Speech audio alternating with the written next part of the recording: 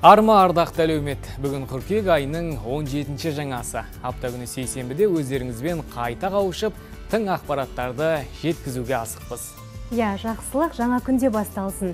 Көңілдеріңізге жылулық ұялатып, әр шаңыраққа шаттық сыйласын деген ізгі ниетпен біз бүгінгі бағдарламамызды бастадық. Ендеше біздің шығармашылық топ сұнатын тың ақпараттар, қызықты директер, әуезді әндер мен мазмұнды әңгімелер ерекше әсер қалдырады деген сенімдеміз. Әрине, қымбатты көрермен, сіз кешелі бері сырыңызбен бөлісіп, шет арқататын жан таппай жүрсеңіз, бүгін міндетті түрде қаламен сөйлесіңіз және оған таң қалудың қажеті жоқ. Себебі бүгін әлем бойынша қаламен сөйлесу күні. Я, бір сағат сұлу шаһарымыздың көшелерімен серуендеп, іштегі сырларыңызды ақтарыңыз. Ал егер қаланың жауабын естігіңіз келсе, айналадағы адамдардың әңгімесіне құлақ түре жүріңіз. Сонда талай қызықты дүниені естуіңіз мүмкін. Я, немесе құлақ қапты киіп алып, жаныңыз қалайтын жанрда әдемі ән тыңдаңыз. Бұл да өз ойыңызды бір жинақтауға септігін тигізеді. Я, біз де осы сіздерге көңіл сергітер әсем ән ұсынғанды жөн көріп отырмыз. Қадірлі көрермен, бізбен бірге болыңыздар. Әсем әннен кейін қайта қауышатын боламыз.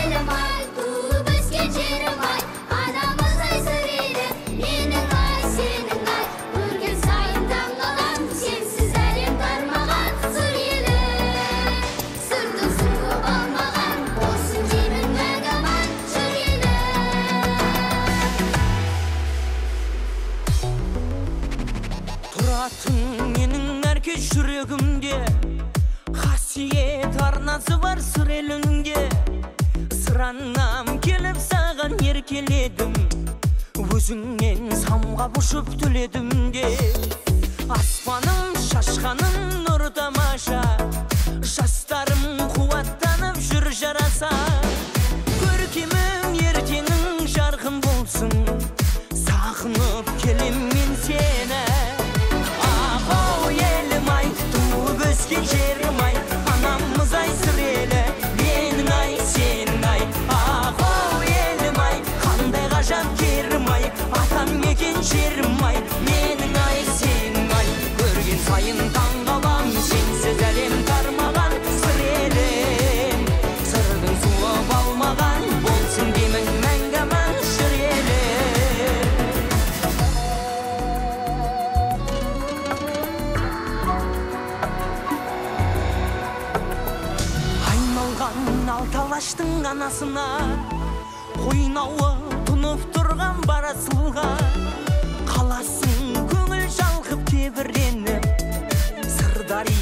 сырдария жағасына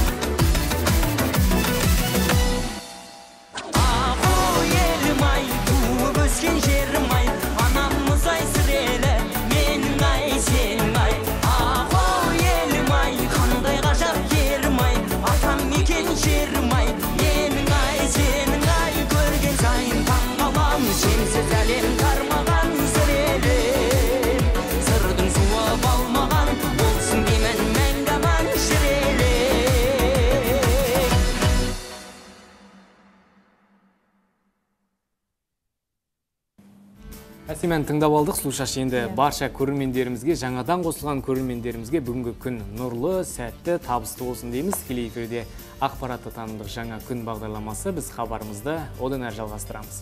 2020 жыл қазақ халқының ұлы ақыны асқақ ойшыл философ абай құнанбайұлының 175 жылдық мерейтойын атап өтпекпіз. Осынау ұлы той аясында бүгінде дара тұлғаның шығармашылығын насихаттап өскелең ұрпақтың бойына сіңіру мақсатында ауқымы кең шаралар ұйымдастырылып жатыр. Иә құрметті көрермен өздеріңіз біздің бағдарламадан көріп білген көріп біліп жүргендей біз сіздердің назарларыңызға ұлы ақынның шығармашылығынан ә, үзінді оқу эстафетасын ұсынып жүрген боламыз. Ә, енді дәл қазір экранға бір сәт зер салсаңыздар. Абай құнанбайұлының 175 жылдығына орай ұйымдастырылып отырған эстафетаны облыс әкімдігінің баспасөз қызметінің маманы гүлжайна өтепберген қызынан қабылдаймын. Эстафетаға өз үлесімді қосу мақсатында абай атамыздың бір өлеңін оқып берейін. Сағаттың шықылдағы емес ермек хамиша өмір өтпек ол білдірмек. Бір минут бір кісінің өміріне ұқсас өтті келді өмір жоқ қайта келмес. Сағаттың өзі ұры шықылдаған өмірді білдірмеген күнде ұрлаған. Тиянақ жоқ тұрлау жоқ кетті келді қайта айналмас бұрылмас бұлдыр заман. Өткен өмір белгісі осы сыбдыр. Көңілді күнде сындыр күнде тындыр. Ақыланық байқаған қылығыңды қу шыққансып қағасың босқа бұлдыр. Күн жайылып ай болды 12 ай жыл. Жыл жайылып қартайтып қылғаны бұл. Сүйенген сенген дәурен жалған болса жалғаны жоқ бір тәңірім кеңшілік қыл. Бұл эстафетаны облыстық тарихи және өлкетану музейінің бөлім меңгерушісі әйгерім беккулиеваға жолдаймын.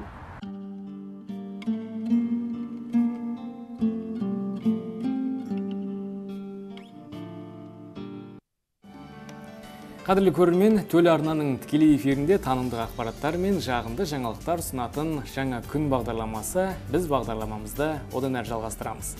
Айта кетейік елімізде 15 қыркүйектен бастап емханаларға тіркелу науқаны басталды. Бұл шара 15 қарашаға дейін жалғасын таппақ. Акция аясында әрбір азамат кез келген емханаға тіркеліп бастапқы медициналық санитарлық көмекті еркін таңдау құқығына ие бола иә дәрігерлер тұрғындардың емхана таңдау барысында үйіне жұмыс орнына және де өзіне қолайлы медициналық көмекті алуына және де тіркелуге кеңес беріп отыр. Аталған науқан медицина саласындағы кемшіліктерді жойып науқастарға салалық қызмет ә, салалық қызмет етуге көптеген әсерін тигізеді. Акция жайлы біз келесі бейне ақпаратта толыққанды айтпақпыз. Арнадан ажырамаңыздар. Денсаулығы үшін алаңдайтын кез келген тұрғын науқан аясында емдеу мекемесін ауыстыруына мүмкіндігі бар. Нұрсұлу смағұлова екі жылдан бері нөмірі бірінші емханада медициналық қызмет алушылардың бірі.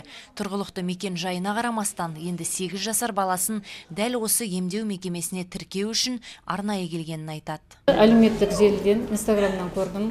Сосын осы емханаға өзім көрінуге келгенде қабырғаларға жапсырылған ақпарат көздерінен көрдім. Бұл жердегі мамандар дәрігер мамандардың істері мейірімділігі ұнайды маған әсіресе тар буынды мамандардың барлығы бар осы жерде.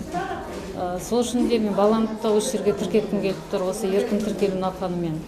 қырық мың тұрғынға медициналық көмек көрсететін емханаға осы күнге дейін өзге аумақтардан екі мыңға жуық адам тіркелген. Ал науқан аясында былтыр мыңнан астам жан нөмірі бірінші емхананы таңдау құқығына ие болды. Жылда мың үш жүз мың төрт жүзге дейінгі мысалы жан жақтан бізге халықтар келіп тіркеледі. Осы қырық мың халықтың ішінде мың алты бізде басқа аумақтардан басқа емханалардан келіп тіркелген халықтар.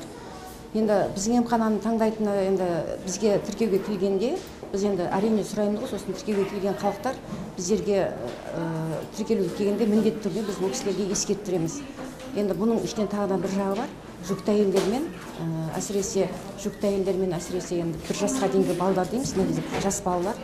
Олар өздерінің негізі территориально тіркелгені жақсы өйткені ол жаңағы э, кісілерге емханалардан актив барылады ғой олардың сондықтан да осы жағын біз келген халыққа түсіндіреміз емханаға тіркелу үшін жеке куәліктің электронды цифрлы қолтаңбасы ғана талап етіледі бұл қызмет түрі егов нүкте kz порталы арқылы небәрі 5 минуттың ішінде онлайн түрде жүзеге асырылады тіпті тұрғындардың емханаға келмей үйде отырып та емдеу мекемесін таңдау үшін өтініш беруге мүмкіндігі бар егов бағдарламасы арқылы тіркелсе ол бірден түседі. Біздің базамызға өзімізде бағдарлама бар. Біз содан көреміз. Жаңағы бізде тіркеліп тұр ма бізге қарай ма адресі қарамай ма сол арқылы біз тіркей береміз. Күніне бізге 15-20 шақты адам келеді. Тұрғындар сұранысын арттырып, сапалы қызмет көрсететін емдеу орны науқаннан тыс уақытта да тұрғылықты мекен жай бойынша тіркеуге алады. Емханаға қарасты аумаққа қоныс аударған Ақмарал Омаш отбасымен осында тіркелуге келіпті. Алғашында мен сенім ә, емханасында тіркелген болатынмын. Бірақ белгілі бір себептерге байланысты үй ауыстырғаннан кейін осы қызылорда қаласындағы бірінші емханаға тіркеліп отырмын бүгін. Баламды да осында тіркеп отырмын. Жақсы қызмет көрсетеді деген ойдамын. Себебі қазір медицина дамып жатыр елімізде. Сол себепте осы емханаға келіп отырмын. Жыл сайынғы емхананы еркін таңдау кампаниясы 15 қарашада аяқталады.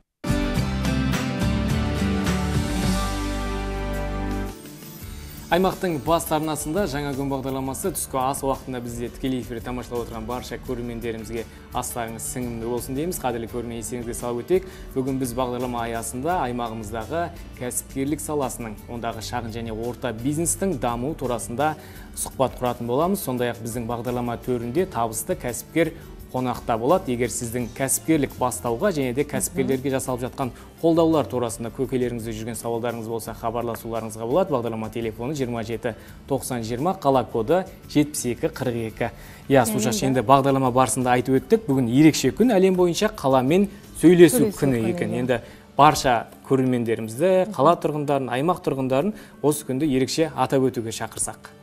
Әрине құрметті көрермен естеріңізге сала кетейік иә бүгін ә, 17 қыркүйек қаламен сөйлесу күні. Ол әлем бойынша негізі тойланатын мереке. Дәл қазір енді осыған байланысты әсем ән ұсынсақ қалай қарайсың? Әрине бәрекелді. Олай болса қадірлі көрермен назарларыңызға әсем ән ұсынамыз. Бізбен бірге болыңыздар. Әсем әннен соң қайта қауышамыз.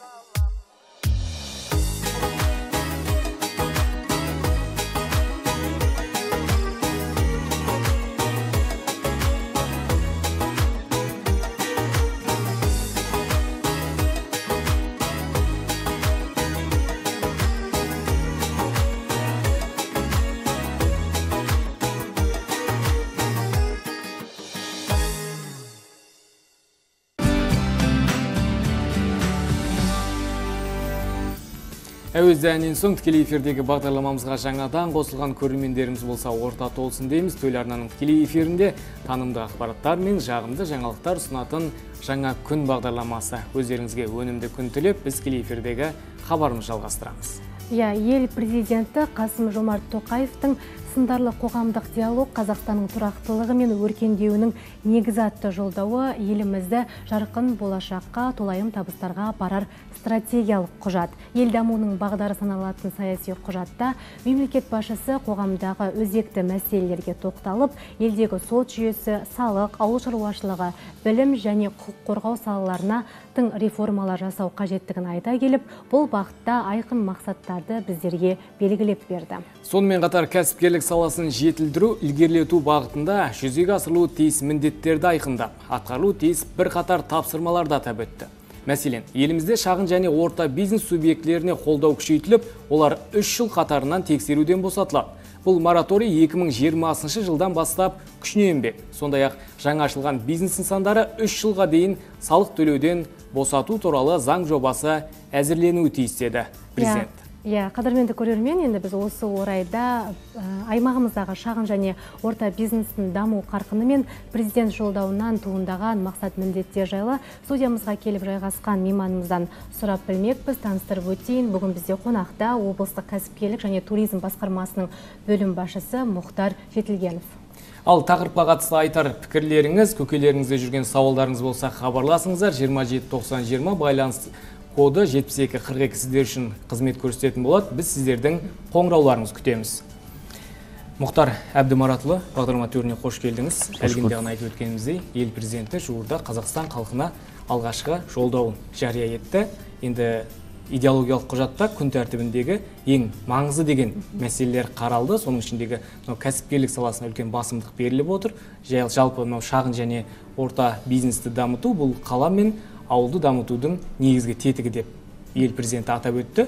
Жалпы енді осы кәсіпкерлік бағытындағы айтылған негізгі бастамаларға өзіңіз тоқтала отырсаңыз және де осы мақсаттар мен міндеттердің осы ауқымы жағынан теңдесі стратегиялық құжаттан өзіңіз қандай ой түйдіңіз?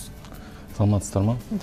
Мемлекет басшысының осы халыққа алғашқы жолдауында біраз жаңалықтарға толы болды. Оның ішінде мысалы еліміздегі бизнес өкілдеріне қатысты әрі жағымды жаңалықтар.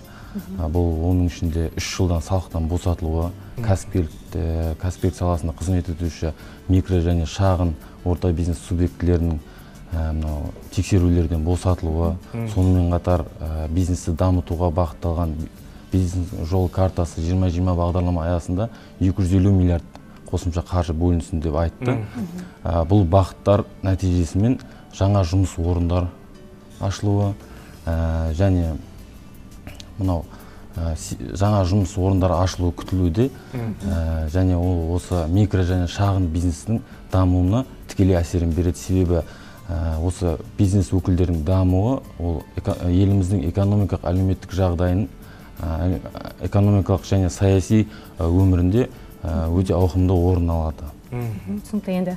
Мұхтар мырза бір ғана сөзбен айтып беріңізші осы жолдауда айтылған бастамалар кәсіпкерлер үшін не береді?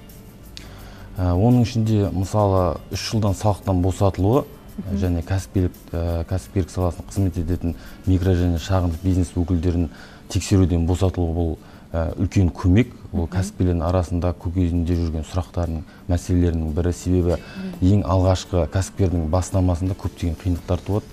Бұл ол көбінесе білместіктен болады. Өйткені бұл ә, кәсіпкерлік саласында көптеген мәселелер алғашқы рет туындайды. Оның ішінде ә, мысалға мемлекеттің тарапынан қойылған талаптары бар. Бизнес өкілдеріне мысалға салық ә, салық төлеу жағынан ә, мысалы мынау өзінің кәсібі жөнінде есептіліктер тапсыру керек. Ә, осы, ә, осы талаптарға сәйкес құзырлы мекемелер осы талаптардың орындалуын тексереді. Егер ол осы кәсіпкерлер алғашқы кезінде үш жылдығында бұл ә, мәселелерге қатысты осы мәселелер бойынша жеңілдіктер болса енді болып жатыр. Ә, бұл мәселелер ә, осы шаралардың арқасында олардың өздерінің кәсіптерін мысалы салыққа төлегеннен гөрі үш жылдың ішінде өзінің кәсібін одан әрі дамытуға табысын. Айналамдағы қаржысын тек қана өзіне жұмсауға ол кәсібін ұлғайтады. Яғни жаңа жұмыс орындарын құрады. Ә, және ә, қалай айтсам болады. Жалпы енді өзіңіздің мынау айтып отқан әңгімеңізді сабақтастырып кететін болсақ жалпы енді осы үш жылға дейін салықтан босату әрине жаңадан кәсібін бастап келе жатқан бизнес идеясы бар кәсіпкерлер үшін үлкен қолдау деп білеміз. Ал енді бұл қадамға бара отырып мемлекет не ұтады деген сауал туындайды. Ә, біріншіден жаңа айтып өткендей микро ә, бізде қазақстанда ә, осы бизнес өкілдерінің арасында 70-80 пайызы микро шағын бизнес өкілдері кәсіп айналымдағылар ең бастысы осы кісілерге ең бірінші қолдау көрсетсек бұл өзіміздің еліміздің экономикалық әлеуметтік жағдайын және саяси өміріндегі осы айтарлықтай қолдау қолдау көрсетіледі. Өйткені осы әлеуметтік экономикалық саяси өмірінде өте зор орын алады. Олардың дамуы халықтың тұрмыс деңгейінің жақсаруы деген белгі. Түсінікті. Енді қазіргі кезде осы кәсіпкерлерге қолдау білдіретін жұмыспен қамту жиырма жиырма бағдарламасын жаңа өзіңіз де айтып кеттіңіз ғой. Жалпы енді бүгінде бұл бағдарламаның жұмыс қарқыны қалай жүріп жатыр? Оның басқа өзге бағдарламалардан артық тұстары қандай? Сол жөнінде айтып өтсеңіз. Бизнестің жол картасы 2020 бағдарламасы негізгі осы 2010 жылдан бері 9 жыл іске асырылуда. Оның салдарынан ә, 64 миллиард теңге қаржы бөлініп осы 720 кәсіпкер өзінің жобасына қаржылай қолдау алған. Оның нәтижесінде ресми ақпараттарға сәйкес ә, 11 мың жаңа жұмыс орны ашылған. Ал мысалы 19 жылдың басынан бері қазіргі осы ә, 9 айдың қорытындысымен 58 кәсіпкер осындай шағын несиемен қаржылай қолдау алады тек осы бағдарлама аясында. Ал ә, кәсіпкер қолдау бағытында ә, тағы да бөлек өңірлік және мемлекеттік бағдарламалар бар. Ә, және осы ә, елбасымыз өзі алғашқы жолдауында 250 миллиард қаржылай қолдау қосымша беруді осы бағдарлама аясында айтты. Бизнестің жол картасы мемлекеттік бағдарламасы аясында айтты. Ә, бұл ә, мысалға ал- жылдан жылға ә, бұл бағдарлама кәсіпкерлер арасында сұранысқа ие болуда сондықтан сұранысқа ие болғандықтан ә, осы бағдарлама тарапынан ұсынылатын қаржы да көлемі өскені орынды деп ойлаймын.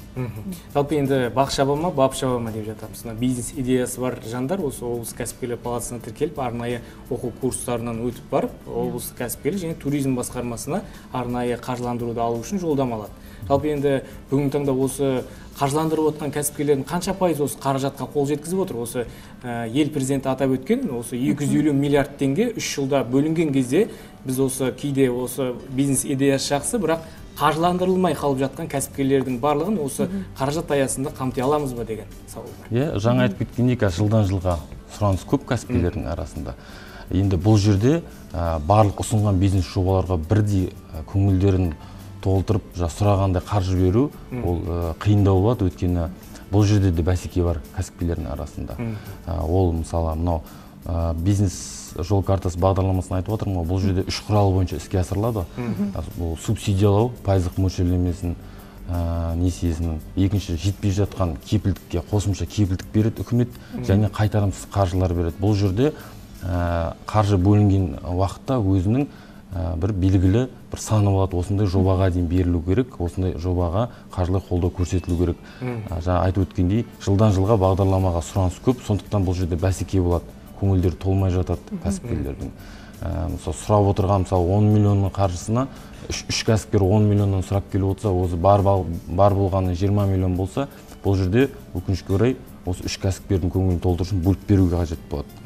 Ә, кейбір кезде ә, жаңағыдай жағдайлар болады. Бір кәсіпкердің өзі артық сома сұрап отырады мына екінші кәсіпкер аз сома сұрап отқан өзінде ә, екеуінің де көңілін толтыруға тырысады. Бірақ енді дегенмен оның ә, мысалы ең бірінші қаржы бөлу екінші деңгейлі банк болғандықтан ол банктің бірінші қарауынан өтеді. Ары қарай субсидиялау ә, осы іс шарасын бәрі мемлекеттің тарапынан іске асырылады. Осы кезде екінші деңгейлі банктер арқылы да көптеген өзекті мәселелер болып жатады қазір үкімет тарапынан осы екінші деңгейлі банктер арасында біршама жұмыстар жүргізіліп жатыр. Ә, осы ә, тағы мысалы кепіл мүлкі ә, мысалға ауылдық елді жерлерде кепіл мүлкін қабылдамай жатады. Дұрыс баға бермейді. Осындай мәселелер болады. Осы мәселелерге қатысты қазір өңірлік бағдарлама бар арнайы. Осы қызылорда облысында бар қазір микро ә, бизнес қызылорда деген бағдарлама бар. Ол мысалы мынау ә, бізде екінші деңгейлі кірпіштен жасалған үйлерді залогқа алса кепілге алса. Ал бұл бағдарлама аясында ә, тіпті жерді де кепілге алып жатады және жоғарғы баға береді қаржылай. Осы мәселелердің алдын алу үшін қазір көптеген жұмыстар атқарылып жатыр ә, нәтижесімен осы ойлап отқан жоспарға жеңілдік беріле ме? Мәселен осы ауылдан келіп кәсіп ашқысы келген жандарға осы қаржыландыру аясында. Мәселен себебі ел президенті де елбасы да әрдайым айтып келеді осы ауылдағы кәсіпкерлікті дамытуымыз керек деп. О- осы им ауылдық кәсіпкерлерге бағытталған яғни 19 жыл жастар жылы емес жастар жылы осының салдарынан қазір біз арнайы іс шаралар ұйымдастырып жатырмыз ауылдық елді мекендерге кәсіпкерлерді оның ішінде жас кәсіпкерлердің ең басты ә, өзекті мәселесі бұл ақпараттандыру. Ақпарат дұрыс жетпейді. Ә, қазір ә, ережесін жаңағы бағдарламамен танысу үшін ол өзі 40-50 беттен тұратын парақты оқып отыруға ерінеді. Оны оқып бітірген өзінде оның бір шамасын түсініп жатады бір шамасын түсінбей жатады. Сондықтан ә, мынау әр аудандағы дербес бөлімдер бар кәсіпкерлік саласында қызмет жасайтын және облыстық осы ә, кәсіпкерлік басқармасына келіп жүгініп жатады кәсіпкерлер. Ә, бізде қазір облыс әкімінің ә, тапсырмасы бар. Соған сәйкес біз келген кәсіпкерлерді ауылдық елді мекендерден келген кәсіпкерлерді әсіресе біз тізімге алып оның түпкілікті шешімі табыламын дегенше әкімнің қадағалауында болады. Отыз күн арасында яғни бір ай мерзім ішінде белгілі уақыт қояды күн тәртібі. Сол бойынша ол кісінің келіп тұрған мәселесінің шешілу жағдайын бізде осы әкімдіктің тарапынан әкім тарапынан тексеру болады. Сондықтан осындай жоспармен бәрін иә енді мұхтар мырза осы кәсіпкер өз кәсібін ашу үшін белгілі бір сомаға қол жеткізу үшін оларға осы бөлінетін қаржыны алу үшін арнайы бір талаптар негіздер қойылады ма оларға? Иә әрине ә, шағын несие алу үшін мысалға ең бастысы бұл жерде кепіл мүлкі жету керек. Ең бірінші ә, негізі осы кәсіпкерлердің арасында түсініспеушілік болып жатады осы мемлекет ә, ә, үкімет пен жаңағы кәсіпкердің арасында қаржы беруші бұл жерде ә, екінші деңгейлі банк. Екінші деңгейлі банк арқылы ұсынады. Ә, ұсынған қаржысының пайыздық мөлшерлемесін одан әрі жаңағы ә, үстіндегі пайыздық мөлшерлемесін үкімет сол кезде ә, жаңағыдай субсидиялауға көмектеседі. Ол ең бірінші кәсіпкер өзінің ә, бизнес жобасын дәлелдеу керек банктың алдында. Ол іске асыратын тиімділігін себебі екінші деңгейлі банктің өзі қаржыны үкіметтен. Дәл сондай процеспен ол да бір ә, беріп отырады. Мына екіншіден мысалы кепіл мүлік болмай қалған жағдайда ә, жаңа бизнес идеяларды қолдау үшін ә, қайтарымсыз қаржылар қаралған. Қайтарымсыз қаржылар қаралған. Бұл жерде ә, жылына бір рет конкурс ұйымдастырылады. Арнайы құрылған комиссияда. Бұл комиссия мүшесінде бұқаралық ақпараттар құралдары ә, өкілдері ә, мысалы қоғамдық бірлестіктер ә, ұйым салалық ұйымдар ә, жоғарғы білім орталықтарынан осы мұғалімдер келеді. Сол ә, комиссияға осы кәсіпкерлер өзінің бизнес жобаларын ұсынады. Түсінікті. Енді өзіңіз айтып өттіңіз бағдарлама барысында қазірде енді бәсекелестік көп дедіңіз кәсіпкерлер арасында. Жалпы біздің аймақта қазір қандай кәсіп түрі сұранысқа ие болып отыр? Ә, облысымыздың ерекшелігі ол белгілі. Бізде ә, 80 пайыз кәсіпкерлер ауыл шаруашылығы бағытында. Ә, мысалға ә, барынша ішінде оның мал шаруашылығы мына жеті ауданның төңірегінде барлық жерінде жақсы дамыған. Ал ә, егіндік шаруашылығы өздеріңіз белгілі. Мына оңтүстікке қарай жақын аудандарда жақсы дамыған.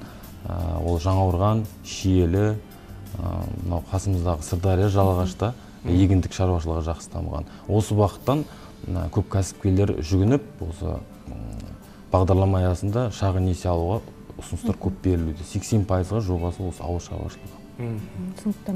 Енді жаңа өзіңіз айтып өттіңіз ғой ә, кәсіпкерлердің көбісі ә, ақпараттандыру жұмысына байланысты өздерінің шағымдарын айтып жатады деп ше енді қазіргі таңда осы біздің аймақтың оның ішінде жас кәсіпкерлерді қандай мәселе алаңдатады? Көбінесе сіздерге қандай мәселе бойынша келіп отырады? Жас кәсіпкерлердің ең басты бірінші мәселесі бұл қаржы мәселесі. Кепіл мәселесі. Ол ең бірінші кәсіпкер оның егер өзінің кепілі болмаса оның қаржысы болмаса кәсібін бастауға өте көп қиындықтар туындайды. Осыған байланысты қайтарымсыз грант конкурсы өткізілу өткізілу жыл сайын өткізілуде. Соған осы жастар жылы аясында қосымша 21 миллион теңге бөлінді. Осы тамыз айын шілде мен тамыз айында өтті. Нәтижесімен 44 жоба қаржылай қолдау тапты. Оған қоса жыл сайын бізде байқоңыр стартап конкурсы өтуде. Бұл жерде 500 мың теңгеден қайтарымсыз қаржы береді алғашқы бастамаларына. Бұл жерде ә, кәсіпкер болу міндетті емес екінші осы конкурста. Бұл жерде өзінің бизнес жобасын дәлелдеп оны тиімділігін көрсетсе арнайы құрылған ә, комиссияның алдында ә, оң шешім алып қаржылай қолдау алуға мүмкіндіктері бар. Оған қоса іс шараларымыз бар. Жылда өткізілетін мысалға осы қыркүйек айының ішінде ауылдық елді мекендер жас кәсіпкерлер форумы ұйымдастырылады. Ол жерге екінші деңгейлі банктер шақырылады. Ә, кәсіпкерлік палата өкілдері шақырылады. Ә, ә, бұл жерде қашан өтеді бұл форум? Қашан 26 қыркүйекте өткізілу жоспарлануда. Бұл ә, қармақшы ауданы үшінші интернационал ауылдық округінде. Ә, біз қазір ә, бұқаралық ақпараттарға таратып жатыр қатысқысы келетін жас кәсіпкерлер кәсіппен айналысқысы келетін жастар өздері келіп әр аудан әкімдігіне кәсіпкерлік ә, дербес бөлімдеріне келіп жүгінсе болады кәсіпкерлік басқармасына келіп ә, айтса осы осы форумға қатыстырып ә, екінші деңгейлі арнайы кеңес беру алаңы ұйымдастырады сол жерде мүмкіндіктері болады түсінік алуға. Мұхтар әбдімаратұлы енді жалпы мына әкімшілік кедергілер турасында айтсақ енді бұл кәсіпкерлерді әкімшілік кедергілерден босату турасында елімізде көптеген ұсыныстар айтылды көптеген жобалар бар бастамалар бар. Жалпы енді қазіргі таңда кәсіпкерлер құтылды ма бұл әкімшілік кедергілерден? Енді қаржы бөлінгеннен кейін оларда арнайы тексерулер бар ма қазір? Қазіргі таңда ә, мысалға әкімшілік кедергілерге қатысты ең бірінші мәселе кәсіпкерлерде туындайтын бұл ә, мысалға мына техникалық шарттарын дайындайды жер мәселесі жер алғысы келеді кәсіпкерлер оған құжаттар дайындайды. Мынау баратын есіктері көп ә, біраз арыз шағымның бары ә, осы тақырыпта. 2017 жылдан бері кәсіпкерлік басқармасы жанында кәсіпкерге қызмет көрсету орталығы ашылған. Ол жерде қызметкерлер кез келген мәселеге қатысты осы артық жұмсалатын уақытын тиімді ә, жаңағыдай тиімді пайдалану үшін кәсіпкер өзінің жағдайын қағаз бетіне түсіреді.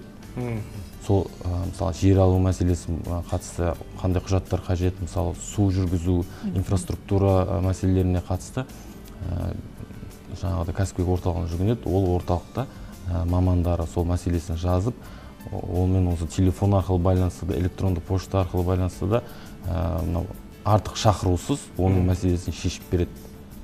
Шешіп береді. Екінші кәсіпкерлік тексеруге байланысты қазір мынау жолдауда айтып кеткендей қазір үш жылға дейін босатылып жатыр кәсіпкерлер қосымша тексерулерден. Және де мысалы мынау салықтық органдарда және статистикалық органдарда қазір кәсіпкерлердің белгілі мерзімде тапсырылатын есептіліктері бар өз кезеңімен белгіленген. Ол есептілік тапсырылмаса талаптарға сәйкес айыппұл салынып жатады бұл осы нұрсұлтан әбішұлы назарбаевтың алғаш тұңғыш президенттің осы 2000 он сегізінші жылғы жолдауында айтып кетті. Бұл кәсіпкерлікті тексеруді ә, жаңа бастаған кәсіпкерлерге осындай тексеруден босатылып қолдаулар көрсетіліп жатыр. Айыппұлдар қазір алынып жатыр. түсінікті. Енді мынау соңғы үш жылмен бағдарлайтын болсақ жалпы кәсіпкерлер болды ма өздерінің осы ә, мынау құқықтарының тапталуына қарсы өздеріңізге ұсыныс білдірген? Иә ондай мәселе жиі жиі кездеседі. Көбінесе мысалға тексеру ә, тексеру мәселесіне қатысты жүгінеді заңсыз тексеру орынсыз тексеру. Біз ә, оның бәрін ресми түрде ә, зерттейміз құзырлы органдармен байланыс жасаймыз. Ә, оның түпкі мәселесін ә, шешіп осы кәсіпкердің жаңағыдай ә, жанында жүрген өзекті жаңағыдай ә, мәселені шешіп беруге тырысып жатырмыз. Түсінікті. Жалпы мұхтар мырза ә, кәсіп бастау ол оңай емес қой? Кез келген кәсіпті бастаған кезде алғашында қиындықтар болады білместіктер болады. Жаңа өзіңіз де айтып қалдыңыз. Ә, кәсіпкер алғашында ә, біршама қателіктер жасайды кедергілерге тап болады деп. Жалпы енді сондай кедергіге тап болмау тап болмауы үшін ә, өзінің кәсібін ары қарай гүлдендіру үшін арнайы бір түсіндірме жұмыстарын сіздер жүргізесіздер ме? Иә бізде ә, 90 сайын ә, осы әр жылдың 90 сайын осындай іс шаралар ұйымдастырылып тұрады. Бізде көшпелі жиналыстар ә, жаңағыдай іс шаралар бар. Әр аудан төңірегінде іс сапарға шығып осы ауыл шаруашылық саласында мамандары ә, кәсіпкер қолдау бағытындағы мамандармен бірлесіп ә, жұмысшы топтар құрылып ауылдық округтерге де шығып жатады басшыларымызбен бірігіп мамандар да шығып жатыр. Осы бағытта оған қоса мынау қызылорда облысында арнайы облыс әкімінің қатысуымен іс шаралар ұйымдастырылады. Тікелей қойылатын сұрақтар болса сол жерде қойылады. Сол жерде ә, екінші деңгейлі банктерге қатысты сұрақ болса мекемелерге қатысты сұрақ болса сол жерде сұрағын қойып жауабын сол жерде тауып мәселесі ә, шешімін тауып жатыр. Рахмет мұхтар әбдімаратұлы. Бағдарлама төрінен табылып мазмұнды сұхбат бергеніңізге маңызды ақпараттармен бөліскеніңізге жасап жатқан жұмыстарыңызға табыс тілейміз. Аман сау болыңыз. Сау болыңыз Thank you.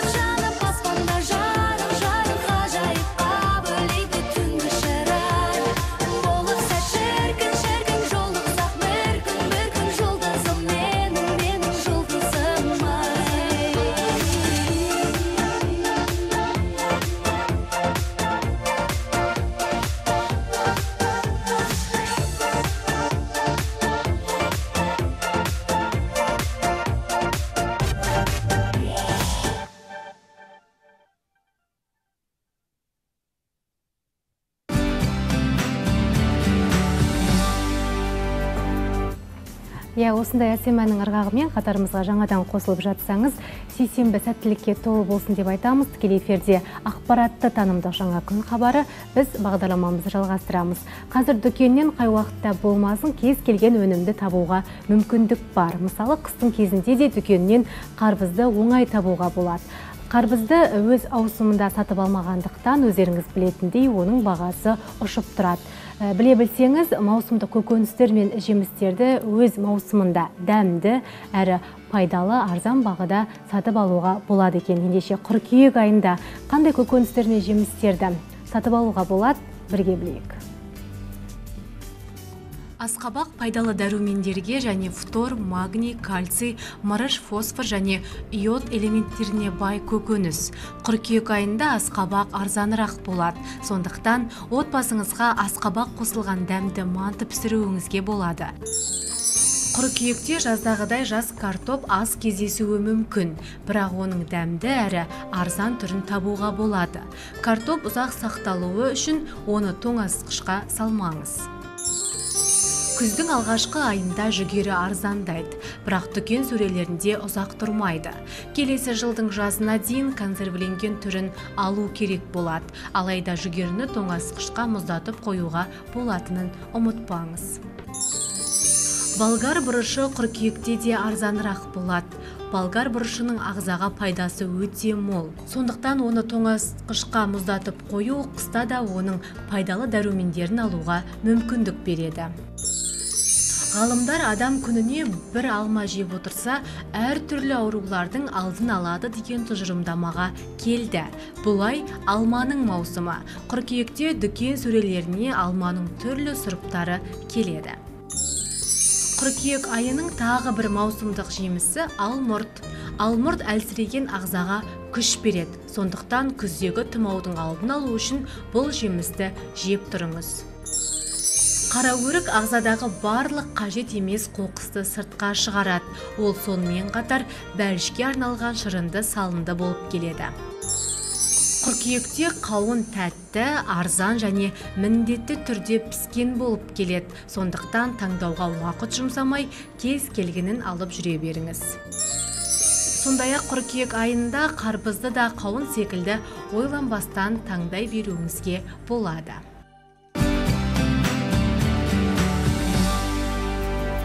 Иә қымбатты көрермен бұл ұсынған кеңес өздеріңіздің кәделеріңізге жарады деген сенімдеміз. Ары қарай біз хабарыны жалғастырамыз.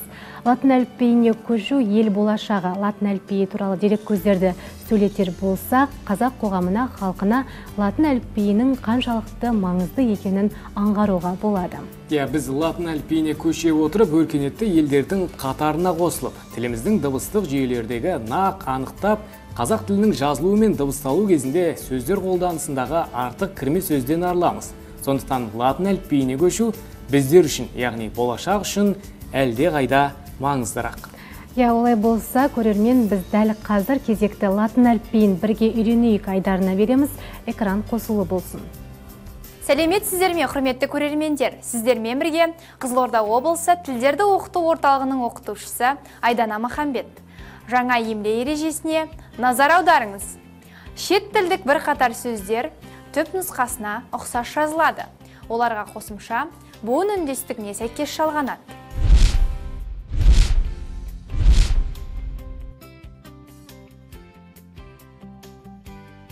келесі ережеге назар аударыңыз. Бірқатар кірме сөздер айтылуы бойынша жазылады. Тауар нөмер пошта костюм пәлте кетчуп слесарь. Осымен сабағымыз аяқталды. Назар қойып тыңдағандарыңызға рахмет. Жаңа қазақ әліпбиін бірге үйренейік.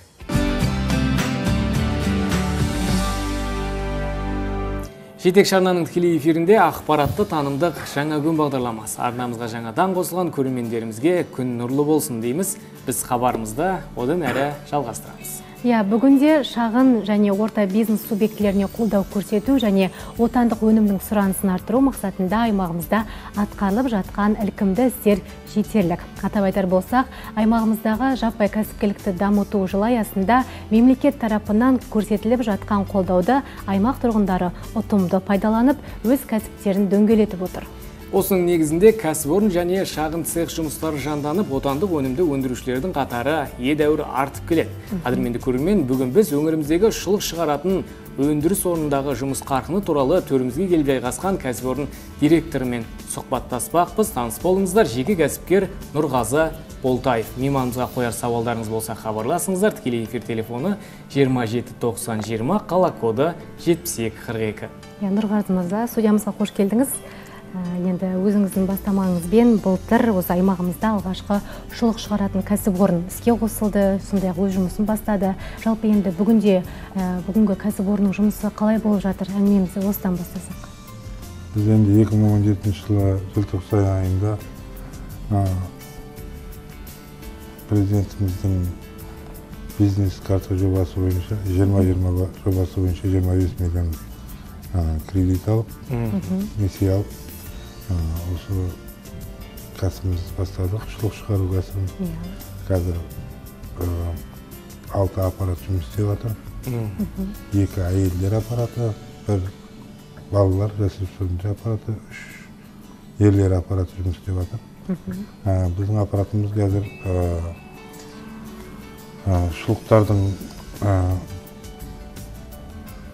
жазғы күзгі қысқы шұлықтар шығарып жатырмыз қазір Ә, цехымызда қазір бес адам жұмыс істейді тұрақты бес адам жұмыс бес істейді. адам жұмыс істейді екеуі аппаратпен жұмыс істейді екеуі жаңағыдай өтекпен немен біреуі жаңағыдай нұрғазы мырза енді біздің білуімізше жуырда осы шұлық өндіретін кәсіпорынға арнайы шетелдік мамандар келген екен өздерінің тәжірибелерімен бөліскен екен жалпы аға сеньорларды қалай шақырдыңыздар. Олардың мақсаты қандай болды?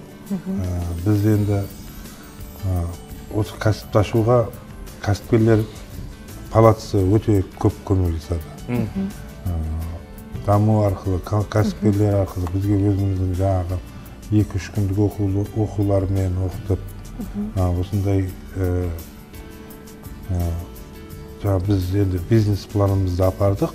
Кәсіп кәсіпкерлер палатасына соны қалай өрбітіп алып кету жағын несін алып кету жағын осы кәсіпкерлер палатасында жаңағы гауһар мынау гүлдана танатовна деген кісілер көп қызмет жасады.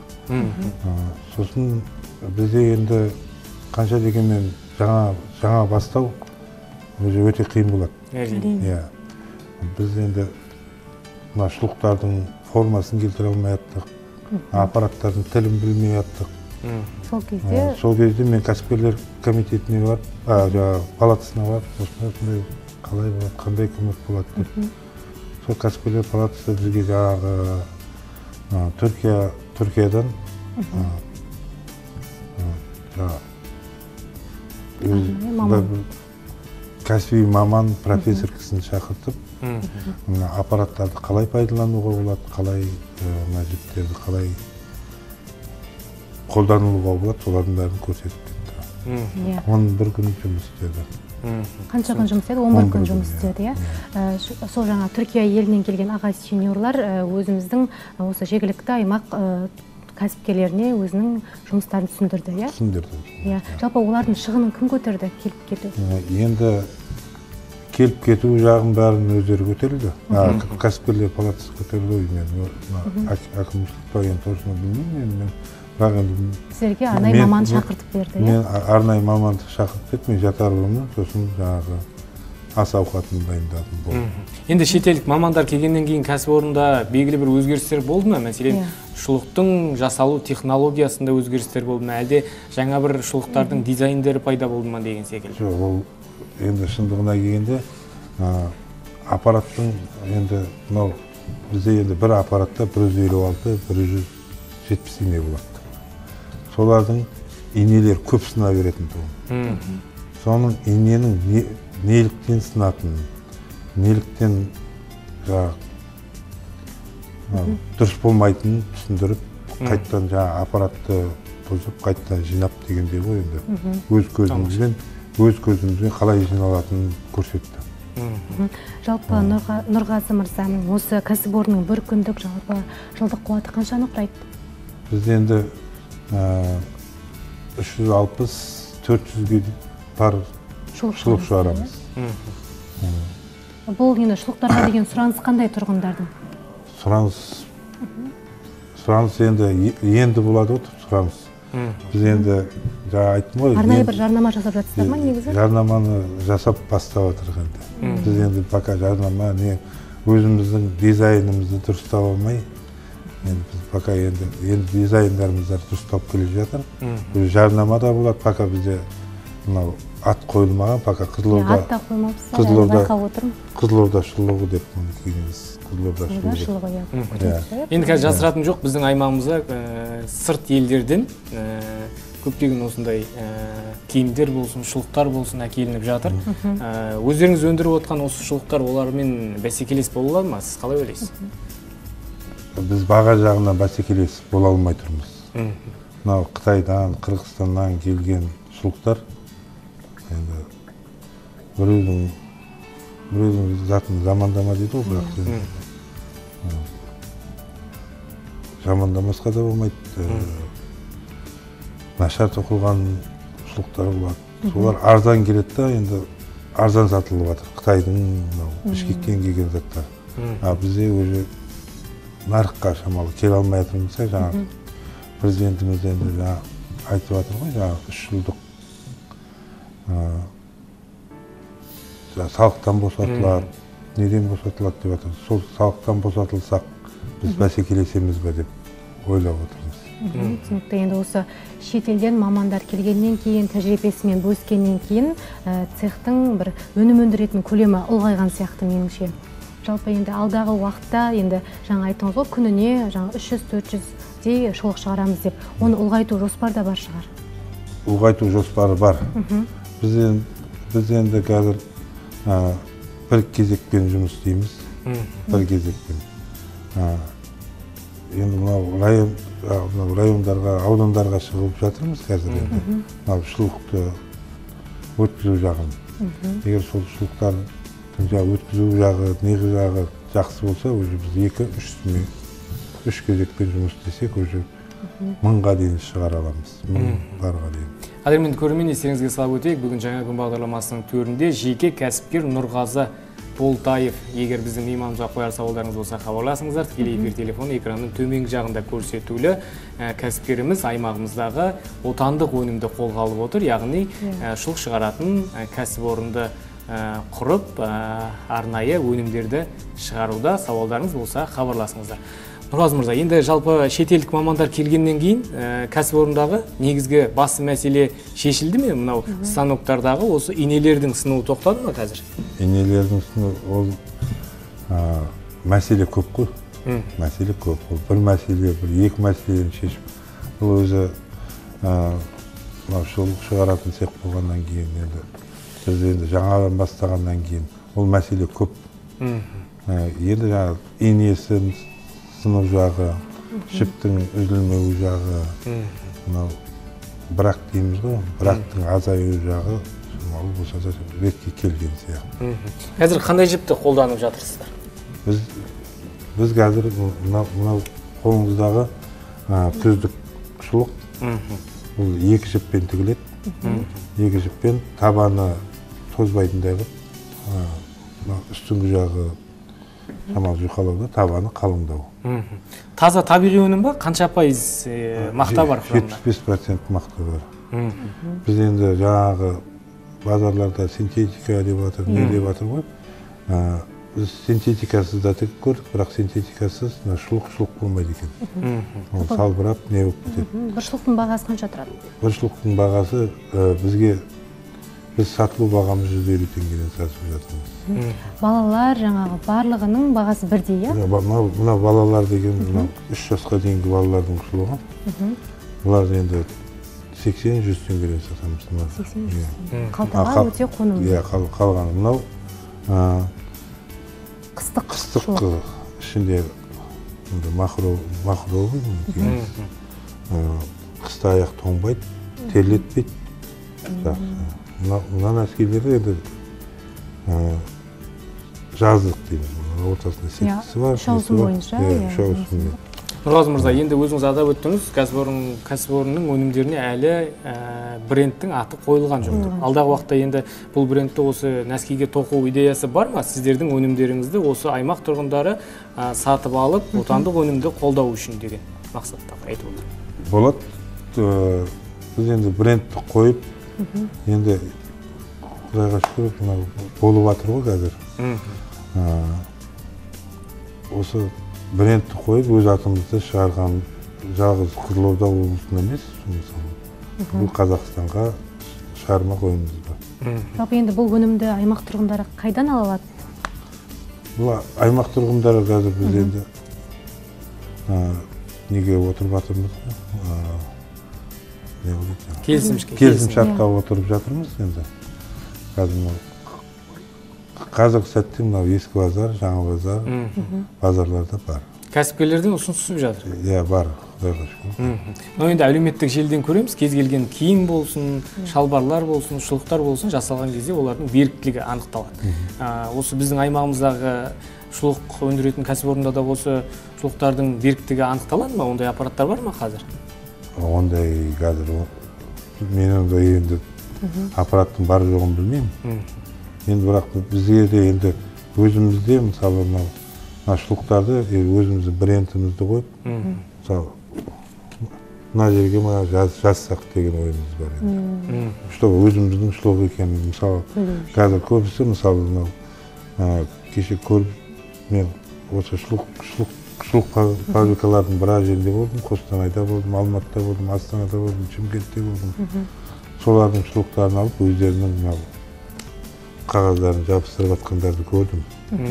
Бірақ ол дұрыс емес деп ойлаймын енді әркім өзінің шығарған шұлығына өзінің шығарған затына жауап беру керек. Дұрыс айтасыз. Енді алдағы уақытта бұл істі де қолға алады деген ойдамыз. себебі қазір нарықта мұндай кәсіпкерлер бар. Осындай ешқандай эмблемасы этикеткасы жоқ киімдерді болсын шұлықтарды болсын алып алып өздерінің эмблемасын қойып сол өнімді бірнеше есе бағада бренд ретінде сататын. Сондықтан бұл жұмыстар алдағы уақытта шешіледі деген ойдамын жалпы енді қандай қондырғымен жұмыс жасап жатырсыздар? Қай елден әкеліп жасадыңыздар біз енді жаңа айт, айтып кеткендей бизнес картасын жиырма жиырма бағдарламасымен жиырма бес миллион ақша алып қытай елінен алып келдік алты, алты аппаратты. Жіптерді алып келдік. Сол жіптерді енді жіптер енді сәл біздің қолымызға қолма қол ақша бермегеннен кейін біз аударылғаннан кейін ақша қытай еліне аударылғаннан кейін олар үшінші сорт екінші сорт жіптер келді.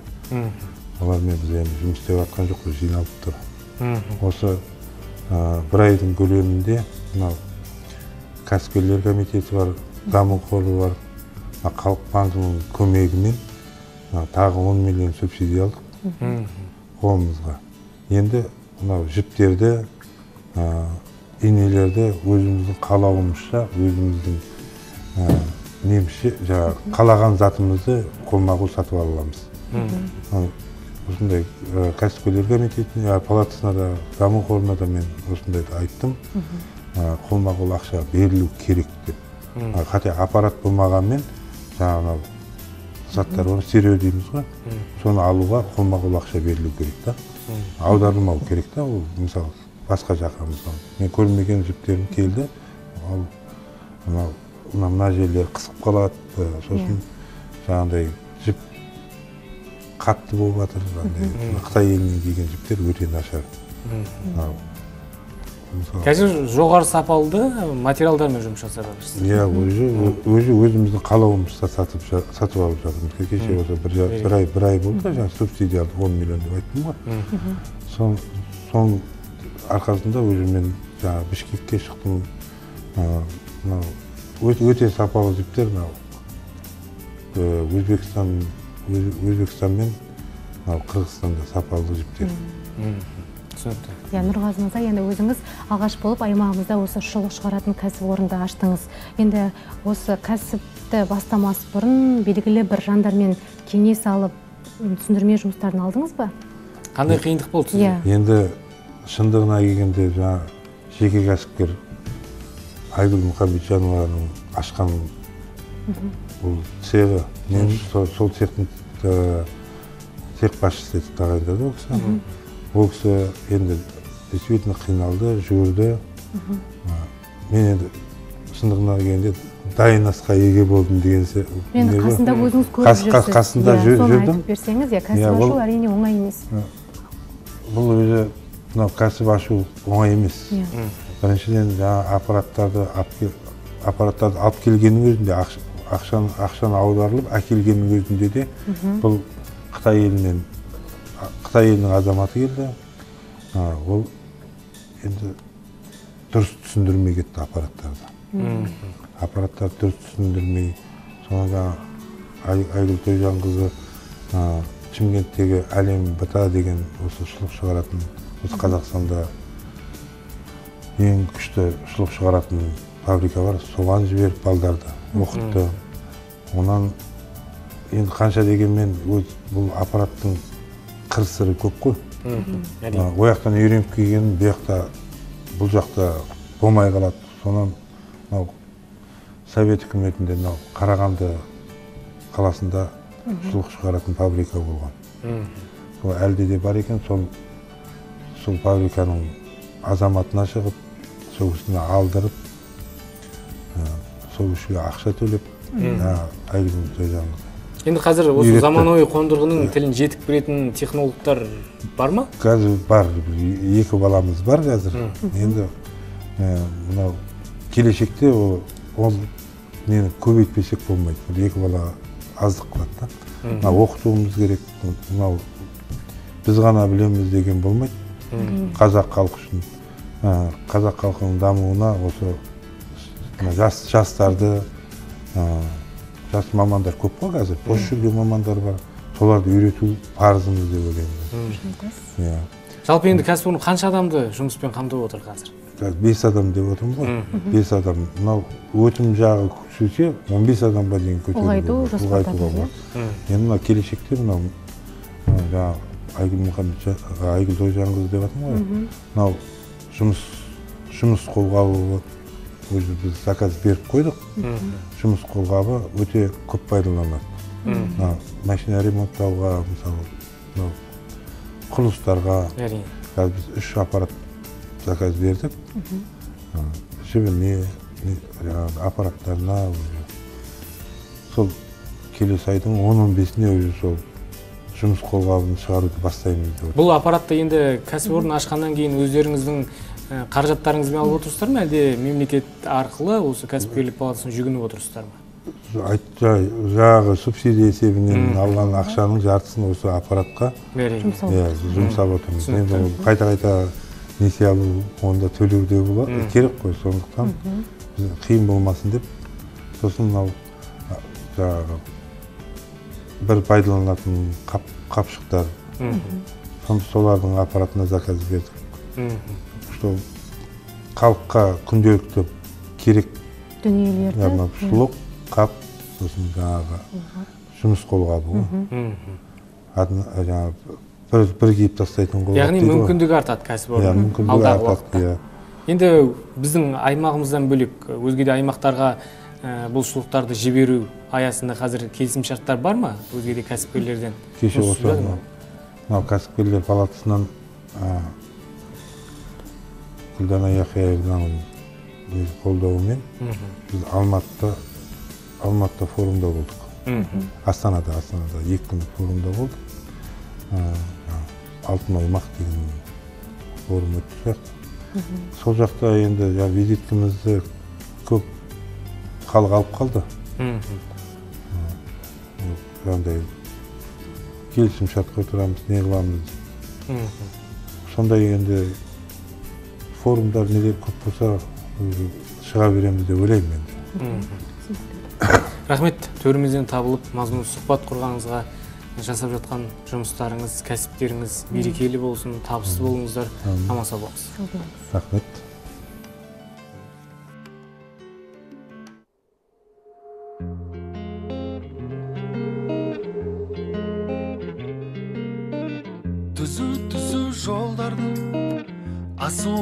жондарды суретшідей сомдады дала жол жүргенде жайдары сұлу самал майданы көңілімді жайлады жаңа. Жол жүргенде жайдары сұлу самал майданы көңілімді жайлады жаңа. Жолдармен заулап жүрегімде оттай сезімім барда. Жеткізбейтін қиял алда бәрі бәрі алда. Ұлы дала шақырады алдан таусылмайтын шексіз жолдарым арман. Әлі де талай аттанамыз ұзақ жолға. Әлі талай аттанамыз ұзақ көшені жүріп өткен кешегі қиял ойым кешеде самғап жүрегімде таң күлсін көне жолдар жаңғырсын өз таңбасын қалдырсын жолдар жүрегімде таң күлсін көне жолдар жаңғырсын өз таңбасын қалдырсын жолдар жолдармен заула жүрегімде оттай сезімім барда. Жеткізбейтін қиял алда бәрі бәрі алда. Оу дала шақырады алда.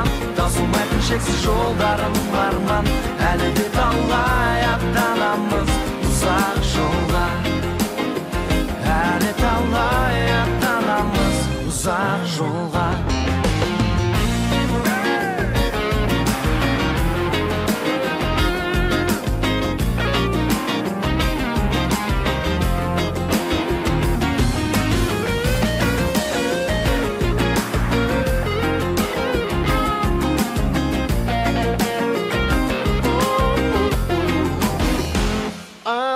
Жолдармен заулап жүрегімде оттай сезімім барда. Жеткізбейтін қиял алда бәрі бәрі алда. Ол дала шақырады алға таусылмайтын шексіз жолдарым арман. Әлі де талай аттанамыз ұзақ жолға. Әлі талай аттанамыз ұзақ жолға.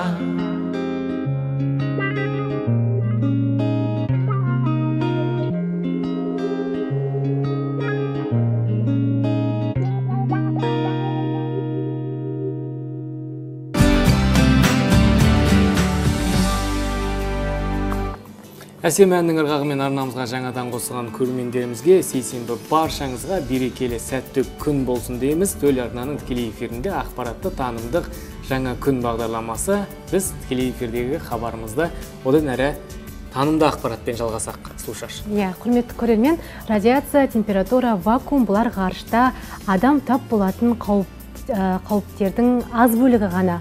Ғарыш апаттары жаңа технологиялармен аппараттары ә, жаңа технология, технологиялармен жабдықталған бірақ олар 100 пайыз қауіпсіздікті қамтамасыз ете ала ма? Біз осы тұста ғарышқа ұшу мен зымырандар туралы ең қызықты деректермен бөліссек слушаш. Жер шарында ғарышта болып көрген бірінші тіршілік иесі лайка есімді ит бұны баршамыз білеміз. Айтулы оқиға 1957 жылдың қарашасында болған. Алайда өкінішке орай ит зымыранда оттегінің жетіспеушілігінен өліп қалған. Иә ал валерий рюмин ғарышта ең көп уақыт болған ғарышкер. Ол кемеде 362 күн өмір сүріп осы уақыт аралығында ғаламшарды 5750 рет айналған. Оның ұшып кеткен ұшып өткен қашықтығы 241 миллион шақырымды құрайды екен. Бұл дегеніміз марш, марсқа ұшып барып қайтқанмен тең келеді Ал сіз көрермен, айға саяхаттауды арман етіп жүрген жапониялық турист жайлы естідіңіз бе? Егер естімеген болсаңыз, Абылайхан Жүністің әзірлеген арнайы бейне ақпаратына зер салыңыз. SpaceX компаниясы тарапынан жасалған Big Falcon Rocket зымыранында айға саяхаттайтын алғашқы туристің есімі белгілі болды. Бұл туралы Илон Маск компанияның штаб пәтерінде өткен арнайы кеште мәлімдеді. Сонымен айға саяхаттайтын алғашқы турист Юсако Маэдзава жапониялық миллиардер және де коллекционер, Жапонияның ең ірі Зозо интернет дүкенінің негізін қалаушы. Былтыр оның жеке байлығы 3 миллиард долларға бағаланған. Юсаку айға миллиондаған долларын сарп етіп ұшса ұшатындай адам. Себебі ол былтыр Нью-Йорк қаласындағы Sotheby's бәс саудасында америкалық суретші неоэкспрессионист Жан-Мишел Баскияның атауы жоқ картинасын 110 миллион долларға сатып алған. Оны сақтау үшін арнайы 5,5 миллион долларға үй салдырған. Осы бір ғана деректен байқағанымыз Юсако айға ұшу үшін 40-50 миллион долларын ойланбай жұмсайды. Масктың айтуынша жаңа зымыранның айға ұшып барып келетін уақыты 4-5 күн. Ол бұл оқиғаның нақты қай уақытта орын айтпады. Бірақ Юсакудың өзі бұл 5 жылдан кейін болу мүмкіндігін тілге тиек етті. 2023 жылы ғарышқа саяхаттайтын алғашқы адам ретінде 6-8 өнер адамын менімен саяхаттауға шақырамын деген Маэдзава айға саяхат өнер адамдары үшін таптырмайтын шабыт көзі екендігін айтты. Илон Маск өз кезегінде бұл өте үлкен зымыран. Ол озық технологиялармен жабықталады. Бәрібір 100% сенімді бола алмаймыз. Юсакуды мүмкіндігінше қысқа мерзімде ұшыру үшін барлығын жасаймыз және барынша қауіпсіздігін қамтамасыз етеміз деді. Осы тәрізді жаңалықтарды ести отырып, адамның мүмкіншілігі шексіз екендігін байқайсың. Білімге ұмтылайық, білгенімізді іске асырайық.